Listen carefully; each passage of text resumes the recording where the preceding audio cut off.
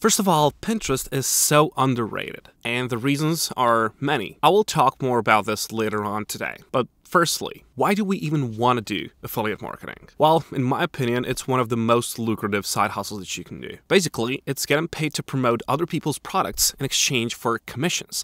I like to best explain it as you're working as a commission only sales agent for any brand or product you like. It offers passive income, which means that you can make money without doing continuous work. And you can do the work once and then continue to get paid passively every single month without having to put in more hours. And because you're not selling your own products, you don't have to provide any customer support. You don't have to ship anything anywhere. You don't have to deal with the exchanges or returns. And lastly, the cost to operate this is very low. But now, what is Pinterest and why should we be utilizing it for affiliate marketing? Well, Basically, Pinterest is a visual search engine, and it is so amazing because it combines everything that we love about TikTok, everything we love about Instagram, so that visual side of things, and combines it with the SEO or search engine optimization side of Google and YouTube, which just basically puts everything together to be the most perfect platform. So, not only is it visual appealing, but you can rank at the top of search once you understand how to rank in keywords, which means when people are searching for things on the internet, your content can be seen by thousands of millions of eyeballs. In fact, you're not relying on any kind of algorithm that might or might not push your content. If you're utilizing the strategies properly, you will be seen because it's a search engine that follows a search engine optimized algorithm. Now, a little bit about Pinterest is that it is 70% women. All right, most of its users are women, which is an important piece of the puzzle for you to understand the demographic that's on Pinterest. So, when creating pins and creating articles and creating affiliate offers, you want to think about the woman in mind. What are women looking for? What are women searching for? Not to say that you can't promote men products on Pinterest, because there are going to be women that are searching for gifts for their men, gifts for their dads, gifts for their sons, things like that. So, yes, you can promote man products on Pinterest, but make sure you're doing it with the mindset of what a woman would be searching for, right? Another piece of the puzzle is that 40% of the user demographics on Pinterest have a household income of $100,000 or more. Why is this great for us? Because that means they have disposable income. Well, most likely they have. And they're on the search engine platform to shop for something specific, right? What's great about Pinterest is a lot of people don't like to show their face on social media. So Pinterest is a great way to stay behind the scenes because you absolutely do not have to show your face. In fact, majority of Pinterest is relying on graphics or so-called pins to make sales. And like I mentioned before, Pinterest is incredible because it has that search engine optimization part, which means you benefit from understanding how the search engine works and how to get your content ranked at the top of search. And of course, it has huge traffic, right? So, when someone is searching for, let's say, Christmas cookie recipes, your content is already ranking for those keywords. Everything that is related to Christmas. That's going to rank you at the top. And what is the most likely thing that we're going to click on, right? We're going to scroll through and we're going to click on something that is most likely on the first page you don't ever go to like the fourth or fifth page. And also, Pinterest is also known to rank in Google search, which is huge because how many billions of eyeballs are in Google every single day? Looking for answers, looking for the solutions to our problems, and you can be that solution. Another amazing thing about Pinterest is it allows you to link directly from your graphic, that is from your pin, to wherever you want. You know, there's a lot of these products, and I could just show you this. So, whether you have a landing page, a blog, an affiliate link, you can just link the people directly. And this is so crucial because every other social media platform, well, you have to rely on your audience member to click and go through a series of hoops you're always like, go to the link in my bio, go click my website, right? And then you have to rely on the audience member to take several steps. They have to click on your profile, they have to click the link, and then they just have to follow the train of links that are in that bio or on your website, right? So there's lots of room for people to get lost in translation, let's say, where with Pinterest, it's just short, direct, to the point. You link right to your pin. So there's much less room for people to mess up or to click off, get bored, become uninterested, and so on. So, how do we start with this? Well, first things first. we have to identify a niche. Basically put, a niche is a category of interest. Makeup, skincare, fashion, dogs, woodworking, choose something that you like or certain product that you may already have in mind. Number two is finding a pain point within that niche. Maybe your niche is dogs because you're a dog trainer and you have a lot of knowledge on dog training. The pain point within that niche might be someone who just got a new puppy, let's say, and they just don't know how to housebreak it, or they don't know how to train it because it's their first time ever having a puppy, right? There's like a young person fresh out of college, was feeling lonely, got a dog, and now, hey, I don't know how to train this thing. I never had any experience training a dog before. This is a pain point, right? And number three, we're to find a solution. We're to find a solution that solves the pain point. Maybe courses that teach you how to train your dog. Maybe specific harnesses that help you train your dog. And of course, the step four, whatever that service, company, program, whatever you have in mind, then you just have to apply to be an affiliate for it. And when you get accepted, when you just make everything ready for it, then you will get a special link. And whenever someone clicks on that link, makes a purchase, you are going to get the commission for it. So it's not rocket science. However, it is not a get rich quick scheme. You will not get any money out of this if you don't dedicate yourself, just like with anything else, right? So, yeah, there is work involved. But let's face it, you just have to sit there at your computer and you just have to click things. So, what do we have to do? Of course, make yourself an account. Email address, password, you know how to do it. Now, what is important is that you switch over to a business account. I just made brand new account so I can show you how it's done. So business account, all you gotta do is when you land on your first newly made profile, whatever, or your old one, just head over here on these arrows and you will have this, convert to business. Alternatively, that's going to be in the settings if it doesn't show up here. It's going to be on settings here and then go to account management, which is over here. And then there's like convert account.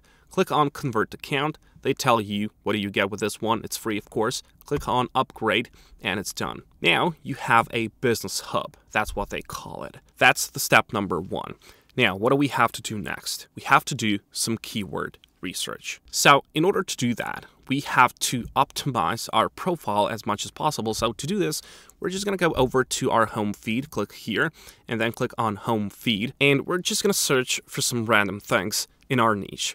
For this example, I'm to choose the woodworking niche, which basically means people that are DIYers, that are looking to, like, for projects to build. Maybe they, I don't know, build shelves, maybe they're home renovators, think like that. So we're just to look up woodworking and see what pops up. Now, the good thing about this one is that when you type anything here, so as you can see, if you just type woodworking, you're to get a lot of these suggestions. So this is what people are searching for woodworking tips as you can see, people are really searching for it. The best one is woodworking projects. Then you've got like shop projects, ideas table, projects that sell. So there's people making money with this, right?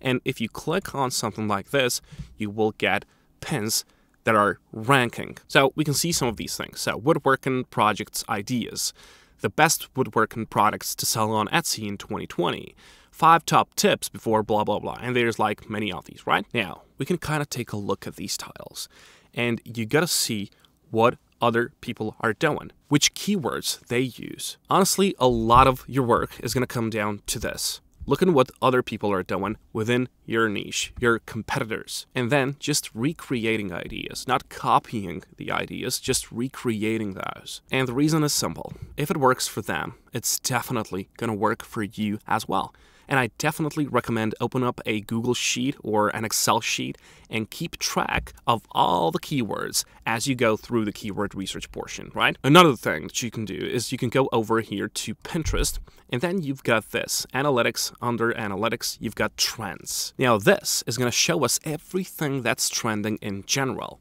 And of course, we can just type in woodworking. And why I love this so much, as you can see, you've got the graphs right away. So you can search through these keywords. So, for example, let's just click on like the basic one, woodworking. And as you can see, this is the graph and it peaks somewhere around January.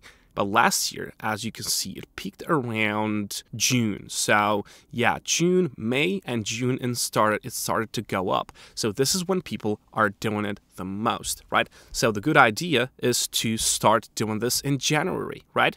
To make a lot of pins, so when it peaks, you can be one of the top people that rank for those keywords. And this is going to work for any niche. Just type it in there, check out the graphs, and you will see when do they peak, all right? When do they get those like huge spikes? As you can see, for example, projects or woodworking tips. As you can see, it was in April. So yeah, people are doing it sometimes around that time and even now, now in February, March, yeah. So good rule of thumb is to start two to three months before. I'll just show you like for Christmas, you know, when it's gonna be at the peak, right? So yeah, if you make Christmas things in September and going through October, November, well, you're gonna have a good time. Okay, the next step. Make your profile look good and make it related to your niche. Just optimize it. Make a cool picture. Put a nice banner. Make a good name. And of course, you can use AI tools to do that. This is namelix.com. If you type in any keyword, it's going to give you a lot of names that you can use. This is looka.com. This is going to make you a logo. Just enter your company name, which you've made with Namelix, probably, and then it'll put out a lot of good pictures for your logos. For banners, you can use canva.com or for logos as well for pictures. It's free, it's really good, and this is where you will make your pins as well. And then, of course, just find the products.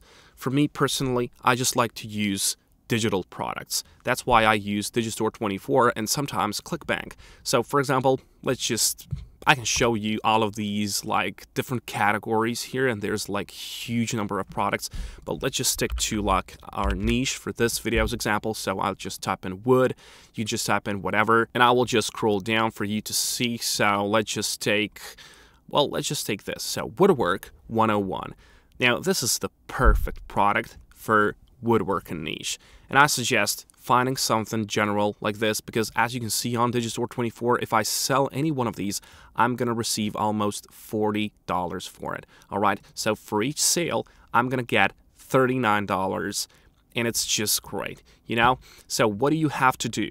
You have to promote now this on Digistore. This is going to be my link, my affiliate link. And now all I have to do is to make similar pins to what these other people are doing. And of course, I told you, just recreate the ideas. Go and see how other people are doing it and then just use Canva, all right? There's a lot of tutorials on Canva. I'm not going to go over it. I'm just telling you, get the inspiration from Pinterest as well. And then just place your links. But you don't have to have a website. For this, I use medium.com. And this is a free blog, you know?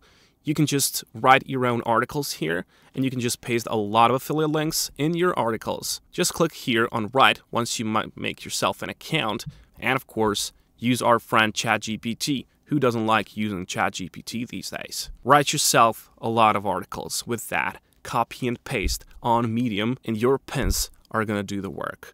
Alright, and the most important part about this one is for you to be consistent. Make two to four pins each day the more you do, well, the more chances you're to have. And of course, with experience, you're just to get better and better. And no, you don't have to write. You don't have to be a graphic designer. You don't have to pay for any of these tools. You just have to sit there and be dedicated. All right? A lot of people just try and they just give up in the first few months. Don't do that. It is possible. If, if all these people are doing it, it's possible and you can do it as well. So, wish you good luck and I'll catch you in the next one.